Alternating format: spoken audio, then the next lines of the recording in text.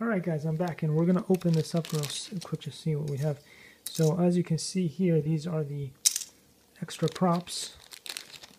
Um, funny story is, I've had a bunch of things and uh, props and all that, but I've actually never used it on the helicopter, so I still have spare props for pretty much every other helicopter that I've ever used. Uh, it may just be that I'm pretty careful so I don't destroy everything, but I guess that's what it was. So, so there's extra prop as well for the back here of the little um, of the little helicopter, and also there's an extra one of these things here, just in case it comes off or you lose it. But again, if you take good care of it, you probably will never use that. And there's an extra screw in there, and I don't know what that's for.